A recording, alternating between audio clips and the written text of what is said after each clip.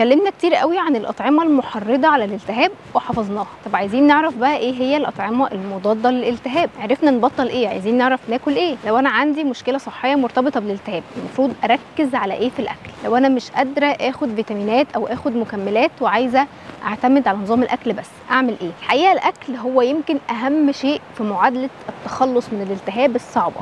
لأن الأكل هو الحاجة اللي بتدخل جسمنا بشكل يومي أكتر من مرة. فإما هناخد منها العناصر الغذائية الصحيحة المناسبة للجسم واحتياجاته فنبقى كويسين.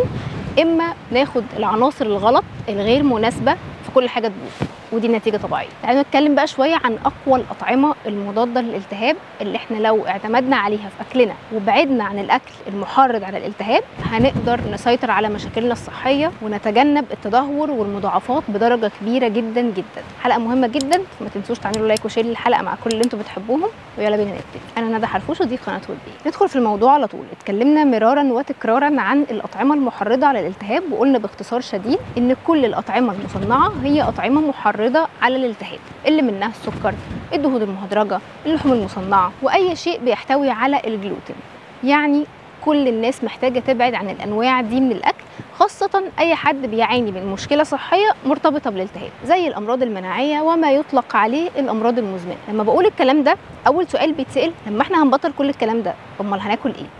لا في أكل تاني كتير قوي في الدنيا غير الحاجات اللي إحنا قلناها دي. إحنا طبعا مش هنتكلم عن كل الأكل اللي موجود في الحياة بس إحنا هنركز على أكتر الحاجات المضاده للالتهاب اللي إحنا محتاجينها تكون جزء من نظامنا الغذائي. أول حاجة عايزة أتكلم عنها لأن هي الأقوى على الإطلاق هي في الحقيقة مش أكل هي الامتناع عن الأكل الصيام. كل ما قفلنا بقنا أكتر كل ما صحتنا بقت أحسن. مهما كان أكلنا صحي إحنا محتاجين فترات من الامتناع عن الأكل ندي لجسمنا فيها فرصة إن هو ياخد أجازة من عمليات الهضم والحرق. لأن في الأوقات دي بس الجسم بيقدر يقوم بإصلاح نفسه فيما يعرف بعملية الأوتوفاجي أو الالتهام الذاتي. الصيام مش بس راحة للمعدة الصيام أكبر وأهم من كده بكتير. لما بنصوم لمدة بتتجاوز 16 ساعة الجسم بيدور على مصدر للطاقة. وهنا الجسم بيبدأ يدور على الخلايا التالفة ويستخدمها كمصدر للطاقة ويبدأ ينتج بدلها خلايا جديدة أفضل. فيعني إيه ممكن يكون أفضل من الصيام لمحاربة الالتهاب؟ مفيش أكل مهما كان super food مهما كان خارق يقدر يعمل اللي بيعمله الصيام. طيب الصيام ده شكله إيه؟ ده صيام عن الأكل فقط. يعني نقدر أثناء الصيام ناخد مية ناخد سوائل كل ال vitamins كل المعادن بتاعتنا حتى الدهون الصافية. الدهون الصافية مش بتكسر حالة الصيام وهو ده الصيام اللي إحنا نقدر نستمر عليه لفترات طويلة. طيب ليه ما نعملش صيام إسلامي وناخد الثواب؟ الصيام الإسلامي جميل يا جماعة جدا طبعا لكن هو صيام جاف فما نقدرش نستمر عليه لفترات طويلة أو يبقى نمط حياة.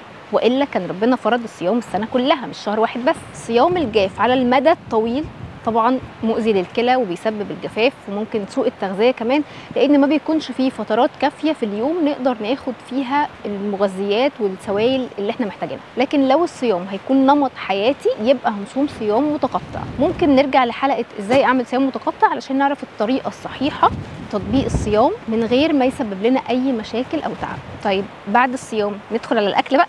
عايزين ناكل ارحمينا. أنا بشوف إن أقوى الأطعمة المضادة للالتهاب هي الدهون الصحية بتيجي على رأس القائمة. طبعا بسبب أهمية الدهون بالنسبة لاجسامنا الدهون هي اللي بتكون أغشية كل الخلايا. فلو مفيش دهون أكيد أكيد تجديد الخلايا هيكون عملية صعبة. الدهون كمان مهمة جدا لإنتاج وعمل الهرمونات.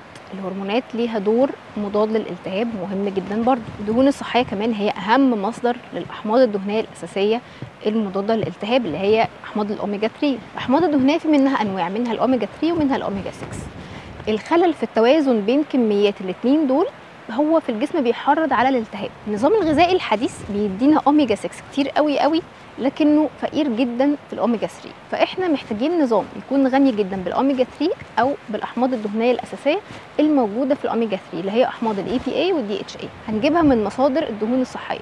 في مصادر حيوانية وفي مصادر نباتية. هنبدأ بالأفضل للأقل. أفضل مصدر للدهون الصحية على الإطلاق هو الأسماك الدهنية. السلمون. مثلا سمك السردين. محار كل أنواع الأسماك الدهنية الحره بعد كده عندنا مصادر الدهون الحيوانية عموما. البيض شحوم الحيوانات أو الدهن الحيواني يعني. بعد كده بتيجي المصادر النباتية. زي إيه؟ زي زيت الزيتون عالي الجودة زيت جوز الهند الأفوكادو والمكسرات مثلا بتيجي في ديل القائمة. ناس كتير هتقول لي يا ندى بس الحاجات دي غالية. آه طبعا هي مقارنة بزيت الذرة وزيت القلي أغلى. لكن إحنا ما بنحتاجش منها نفس الكميات اللي إحنا بنستخدمها لما بنستخدم الدهون الغير صحية. يعني إحنا مش محتاجين في الوجبة أكتر من معلقتين ثلاث معالق زيت زيتون أو مثلا ثلاث بيضات أو ثمره أفوكادو أو حفنة صغيرة من المكسرات. وإحنا قلنا إن إحنا بنصوم فكده كده كميات الأكل بتقل. لو حسبناها هنلاقي نفسنا تقريبا بنحط نفس التكلفة بس في أكل جودته أعلى وتأثيره على الصحة عكسي تماما عكس اللي كان بيحصل مع الأكل الغير صحي أو المحرض على الالتهاب. طيب بعد الدهون الصحية يجي إيه في المرتبة الثانية الأطعمة الغنية بال polyphenols وال flavonoids. دي مركبات مضادة للالتهاب ومضادة للأكسدة تكون موجودة في الأطعمة النباتية. في حلقة مفصلة عنها عملناها قبل كده موجودة على القناة ممكن ترجعوا لها. طيب إيه هي أكتر الحاجات الغنية بال polyphenols؟ باختصار بصل ثوم الخضروات الصليبية كلها زي الكرنب البروكلي الكيل الجرجير خرشوف. أو آه الأرضي شوكي في بعض الدول.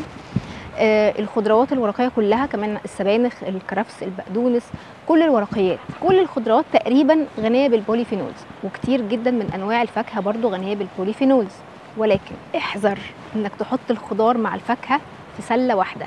They are not equal they are not the same. مش زي بعض تماما. الخضار والفاكهة مش شيء واحد. خضار كل منه براحتك. لكن لما تيجي عند الفاكهة لا. لازم نفرمل لأن الفاكهة بيجي معاها الكثير والكثير من سكر الفركتوز يعني ما ناكلش فاكهة خالص لا أنا ما قلتش كده. ولكن نختار أنواع الفاكهة المناسبة ونراقب الكميات. يعني مثلا لو سألتني إيه هو أفضل نوع فاكهة لأي حد بيعاني من مرض التهابي هقول لك طبعا وبلا تردد ال berries لأن هي الأقل في محتوى السكر والأغنى في مضادات الأكسدة وال polyphenols وكمان مضادات الالتهاب طيب وبقية أنواع الفاكهة؟ ممكن آخد منها بحساب. ثمرة واحدة بس كفاية. لكن مش ثمرة بطيخ طبعا. يعني لو بطيخ هناخد 150 جرام كفاية. تمرتين ثلاثة كفاية جدا. مش 27 تمره والله في واحدة مرة قالت لي أنا كنت بعمل كل حاجة صح بس مش فاهمة أنا ليه ما بتحسنش؟ بس أنا كنت باكل 27 تمره كل يوم. سكر الفركتوز يعتبر من الأطعمة المحرضة على الالتهاب خاصة لو إحنا بناخده معزول يعني مثلا بنحلي مشروباتنا بسكر الفركتوز بدل السكر العادي إحنا كده ما عملناش حاجة. أو بنعصر الفاكهة بكميات كبيرة جدا وبنرمي طبعا كل الألياف اللي فيها. أو بناكل فاكهة كتير بإفراط. بعد كده تيجي التوابل والأعشاب الموجودة في المطابخ بتاعتنا كلنا. معظم التوابل والأعشاب اللي إحنا بنستخدمها في أكلنا كل يوم بشكل عادي جدا هي غنية بالمركبات المضادة للإلتهاب. فتعالوا نشوف أفضلهم. أي حد عنده كركم في البيت ومش بيحطه في كل الأكل غلطان وفايته كتير. كركم يا جماعة من أفضل مضادات الالتهاب على سطح الكوكب. كركم بس مشكلته إن هو التوفر الحيوي بتاعه ضعيف. فالصح إن إحنا نعرضه للحرارة مع الدهون والفلفل الأسود. ده بيخلي التوفر الحيوي بتاعه أعلى. يعني الجسم يقدر يمتصه أفضل. على ذكر الفلفل الأسود كمان مضاد للالتهاب. مش الفلفل الأسود بس لا الشطة. كل أنواع الفلفل الحار بتحتوي على مادة الكابسيسين ودي مادة مضادة للالتهاب قوية جدا جدا جدا. وعلى رأس كل أنواع الفلفل فلفل الكايين. اتكلمت عنه قبل كده برضو في حلقة كاملة موجوده على القناة من كتر ما هو مذهل. يعني عنده خصائص رائعة رائعة لكل حاجة. كمان عندنا الجنزبيل القرفة آه القرنفل الهيل أو الحبهان الخردل أو المستردة. الزعتر الروزماري الريحان ورق اللورة كل دي توابل ونباتات عطرية موجودة عندنا في البيت مضادة للالتهاب تدي نكهة جدا للأكل حلوة علشان محدش يشتكي إن الأكل الصحي طعمه وحش. ندخل بقى على الأطعمة الغنية بالبروبايوتيك أو البكتيريا النافعة. هي حاجات ممكن تكون يعني شوية غريبة على مسامع بعض الناس بس هي سهلة. كلنا نقدر نعملها بنفسنا في البيت بطريقة بسيطة المكونات بتاعتها متوفرة في كل مكان. الأطعمة المخمرة. أو المخمرات. هي الحاجات اللي تعرضت لعمليات تخمير. تبقى شبه المخللات كده بس من غير إضافة الخل. أشهرها طبعا ال sauerkraut أو مخمر الملفوف. منها كمان الكيمتشي وده بيكون في مجموعة كده من الخضروات برضو بتتحضر بطريقة التخمير. طريقتهم سهلة جدا ممكن تبحثوا عنها في جوجل في يوتيوب. على يعني كل منصات ال social media هتلاقوا طريقتها. كمان المخللات برضو فيها بروبايوتيك بس طبعا أقل بكتير من المخمرات. في كمان لبن الكيفر وده بيكون متوفر في بعض الدول. بروبايوتيك مهم جدا لدعم صحة بكتيريا الأمعاء ويعتبر جزء لا يتجزأ من علاج أي اضطراب مناعي. وطبعا مش هأكد عليكم إننا لازم نتجنب تناول المضادات الحيوية لأن هي بتدمر التوازن البكتيري في الأمعاء إلا طبعا يعني للضرورة القصوى. نيجي بقى للمشروبات. معقولة يعني هسيبكم من غير مشروبات؟ مش ممكن. الشاي طبعا خاصة شاي الماتشا والشاي الأخضر بسبب إن هما بيحتووا على تركيزات عالية جدا من مادة ال EGCG المادة دي مضادة للالتهاب بدرجة كبيرة جدا جدا. وكمان غنية بمضادات الأكسدة. في كمان شاي الكمبوتشا لأنه هو برضو ده يعتبر من الحاجات الغنية بالبروبايوتيك هو برضو شاي مخمر. كمان عندنا من المشروبات مشروبات الأعشاب عندنا العرقسوس الكركديه اليانسون الحلبة كل أنواع مشروبات الأعشاب اللي إحنا متعودين عليها كنا بنعملها دايما في بيوتنا وبنشربها قبل ما المشروبات الغازية تبقى في كل بيت. هي دي أكتر حاجات إحنا محتاجين نركز عليها لكن مهم إن نظامنا يبقى متكامل. يعني البروتين الحيواني جزء أساسي من نظامنا ما ينفعش نهمله. طبعا الأسماك الدهنية هي الأفضل لكن كل أنواع البروتين الحيواني مهمة التنويع أفضل.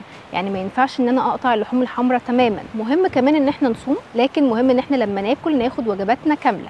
وجبة كاملة بتحتوي على كل العناصر اللي جسمنا محتاجها علشان ما يحصلناش سوء تغذية أو نقص في العناصر الغذائية الأساسية والمهمة. لو بعدنا عن كل الممنوعات وركزنا إن أكلنا يكون غني بمضادات الالتهاب اللي اتكلمنا عنها دي ده هيفرق بدرجة لا يمكن تتخيلوها. هيفرق في حالتنا الصحية في تقليل الالتهاب تقليل الألم هيفرق بشكل كبير جدا. حاجة كمان مهم جدا إن هي تكون جزء من روتيننا اليومي هي مرق العظام. لو عايزين تعرفوا ليه مرق العظام مهم وإيه أفضل طريقة لتحضيره هتلاقوا كل ده في الحلقة اللي هتظهر دلوقتي. ما تنسوش تعملوا like و share للحلقة subscribe للقناة لو أنتوا أول مرة تشوفوني. ولو في أي موضوع عايزين نتكلم فيه سيبولي في ال comments أما الاستشارات فال link موجود في ال description أشوفكم الحلقة الجاية. باي باي.